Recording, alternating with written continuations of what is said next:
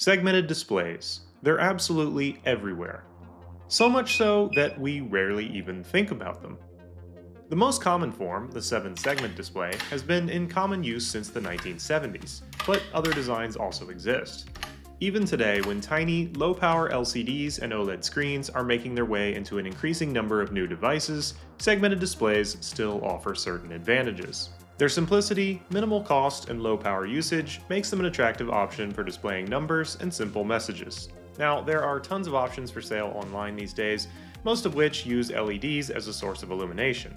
They range somewhat in size, color, and font style. You can even buy some that have more than 7 segments, but those are harder to find. However, thanks to the magic of 3D printing, it's now possible to create any design you can imagine, and in this video, I'll show you exactly how to do that. But why bother? Well, besides the enjoyment of making things yourself, the DIY route offers infinite customizability. Want more than 7 segments? No problem. Want to copy an unusual and hard to find design like this one? Go for it. Want to make a clock that slowly changes color with RGB LEDs? Bring it on. How about a truly massive display? The only limit is the size of your 3D printer. So here's the basic idea. By using LEDs controlled by an Arduino or other microcontroller, we can light up translucent segments of a 3D printed part. Depending on which ones are turned on, different characters can be displayed. Now, ultimately, I want to create my own design, something aesthetically pleasing, but also very readable and capable of displaying both letters and numbers. But let's not get ahead of ourselves. Better test the basics first. Okay, step one. I'll need to create a custom design in a CAD program, Fusion 360. Let's begin with a super basic 7-segment design in order to test out some different configurations. The first consideration is what LEDs to use. To begin, I decided to just use the parts I had on hand, which happened to include a bunch of standard 5mm white LEDs. I whipped up a basic 7-segment design that would accommodate them. The LEDs will be sort of submerged, if you will, inside the 3D printed material, and hopefully their light will spread out pretty evenly. For the frame that surrounds and holds the parts that will light up, I'll be using black filament. I made sure that there will always be at least two layers of walls to completely block out the light. Since the standard 3D printer nozzle size is 0.4 millimeters, that comes out to a wall thickness of 0.8 millimeters. With the spacing figured out, I used a piece of perf board as a base to solder the LEDs to. I then added an Arduino Nano to control them and some resistors to limit the current flowing into each diode. This little prototype will serve as a standardized test bed for the 3D printed parts. In order to figure out what would work best, I created several different test versions. Now you could print all of the parts separately and then glue them together, but I'm planning to utilize the multi-material capabilities of my new 3D printer, the Bambu Lab X1 Carbon. Now, for full disclosure, Bambu Lab did send me this printer to use in my projects, but this is not going to be a review video and no money changed hands. As you can see, I've got the AMS module to go with it, which allows you to load up to four spools of filament. These can be switched out during the printing process, allowing you to seamlessly integrate different materials, or in this case, different colors of the same material, into one print. One thing I want to point out here is how to set up these prints in the Slicer program. From Fusion 360, I click 3D print, then select the model. All of the different objects need to be part of the same component, otherwise they won't get exported properly and you won't be able to split them up the right way. Once Bambu Studio loads, right-click the model and select Split to Parts. Then you can click on Objects and change the material for each part. I'm using PETG instead of PLA, and the reason for that should be clear. Well, translucent anyway. This filament isn't completely transparent, and you can still see the layer lines if you look close, but it's definitely the best option for transmitting light that's commonly available.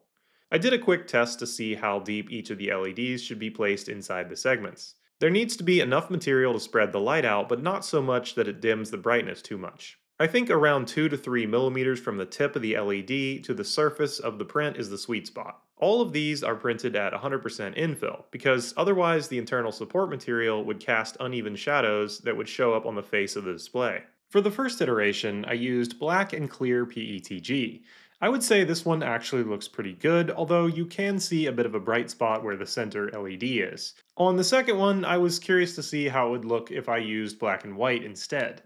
Terrible, apparently. There's just so much contrast between the black and white material that it's hard to see which parts are even lighting up. I also tested hollow-centered versions of these to see if I could speed up the printing process and save material, but the results were not great. The bright spot in front of each LED was more noticeable. I also tested a version with a thin layer of black material in front of the segments to hide them, but it was too hard for the light to effectively pass through. However, by doing the same thing but using white PETG instead, I got this, which actually looks quite nice, although it is a bit dimmer than the clear version. You'll also notice I switched to using a smooth build plate here.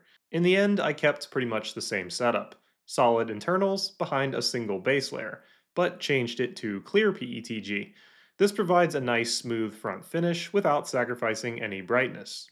I should probably mention there is one downside to multi-material printing, and that is that it generates a lot of waste material. That's because the previous filament has to be purged every time a new one is loaded.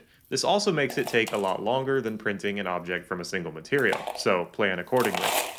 Now this little display could use a proper PCB and maybe some RGB LEDs, but before we get to that, I've got some more designing to do.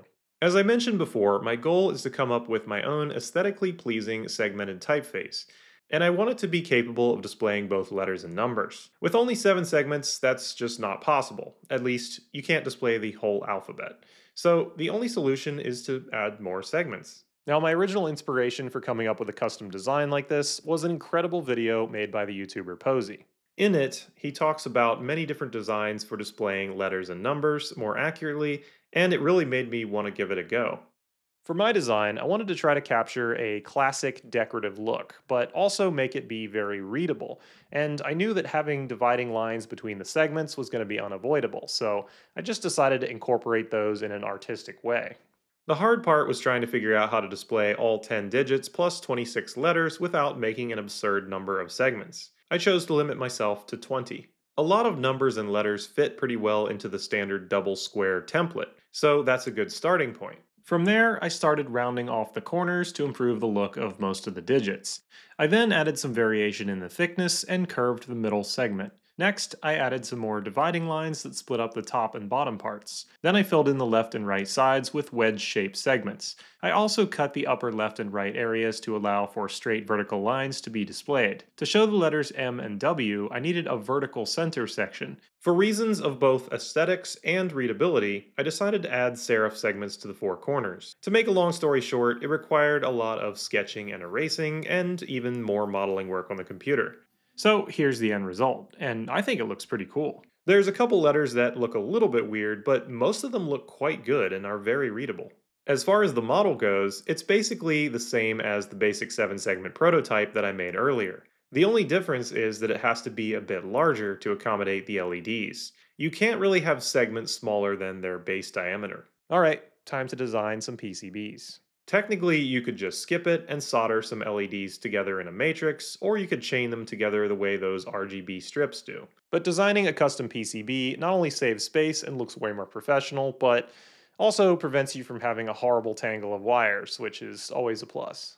For the LEDs themselves, I opted to go with the tried and true WS2812. You can actually get these in surface mount or through hole variety. These are pretty easy to work with.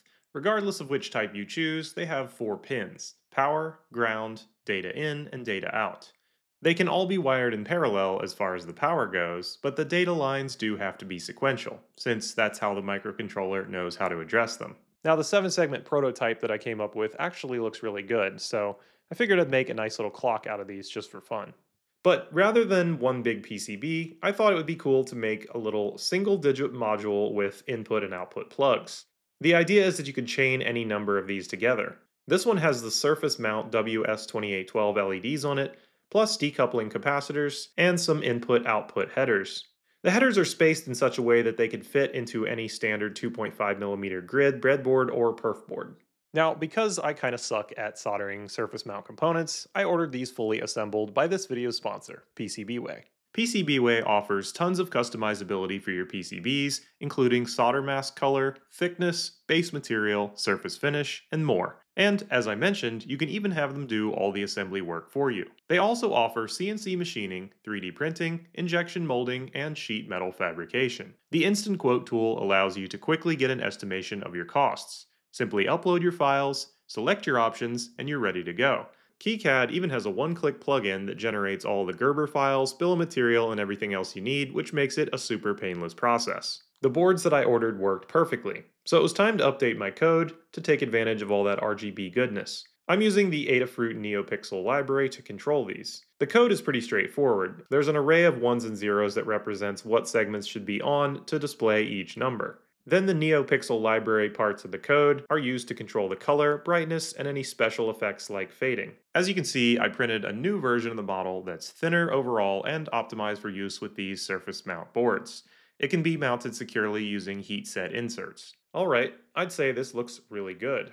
Time to move on to the 20 segment version. Now, there is one more thing that I decided to do that might raise a few eyebrows. Remember how I said that this display had to be a bit larger? I don't think one LED per segment is necessarily going to cut it. I mean, it might look okay, but some of those segments are weirdly shaped and have tight corners that might not get enough light. So I'm going to add more LEDs to some of them. Alright, if you want to get technical on me, I guess that means that there's more than 20 segments from an electronics standpoint, but that's more of a limitation of the material's light transmission capability. Visually, there's still only 20 segments, so I think it counts. So fast forward several hours of design work and voila, here's the finished PCB. And here it is for real. This one was designed to use the through-hole version of the LEDs. Why? Well, I actually think they do a slightly better job of distributing the light due to their shape. Light comes out in all directions instead of basically a single direction like with the surface mount version. And also, if anybody wants to build one of these themselves, the soldering is a whole lot easier. By the way, I designed this circuit to use tiny decoupling capacitors next to each LED, since that's what the spec sheet said to do. But I didn't end up adding them and opted for a single larger through-hole capacitor on each board. It seems to work perfectly fine this way, probably because unlike on a strip, there's a single 5V plane on one side and a single ground plane on the other, meaning there shouldn't really be any difference in voltage between each LED, since they're all in parallel. I 3D printed a version of the model using the same parameters as the final rendition of my 7 segment prototype. It features holes for heatset M3 inserts, which allows it to mount securely to the PCB. It's worth pointing out that the LEDs should be soldered to the PCB after it has been bolted to the 3D printed part, to account for any minor inaccuracy that might make fitting all of those LEDs into their respective holes difficult. Now, with everything assembled, it was time to update my code, and honestly, there wasn't really that much to do. I mean, I just had to make it control 20 segments instead of 7, and also display the entire alphabet in addition to the 10 digits. Oh, yeah, and also display 10 characters simultaneously. So, okay, I guess there was a little bit to do. With that figured out, I basically just had to make a whole bunch more of these, because I had something pretty cool in mind. Luckily, the Bambu Lab X1 Carbon prints crazy fast, and I was able to get them done two at a time. Otherwise, it probably would have taken forever. Being able to monitor the progress of the prints from another room on my computer, or even while I was away from home using the app on my phone was super useful as well. Oh, and the time lapses are pretty neat.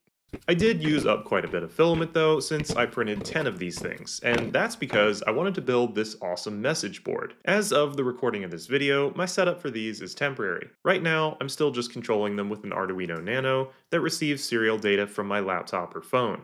But I'm planning to build a proper system for them using an ESP32 that can display the time, weather, and any notifications that I receive via Bluetooth or maybe a web server. That's all beyond the scope of this video though. My focus here was to just show you how to create these types of displays. I will be making a more polished version though.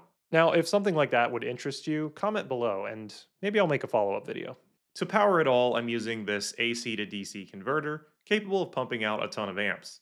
Way overkill for this task, but given that there are a total of 380 LEDs, your average wall wart isn't quite up to the task. I also printed these little interlocking stands to hold the displays. Each one has a slot on one side and a little tab on the other that locks them together horizontally.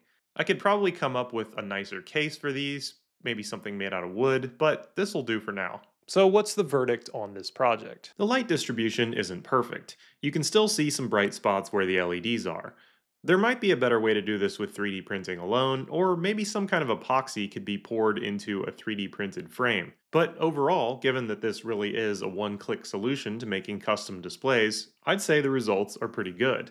And I'm quite proud of my 20-segment design.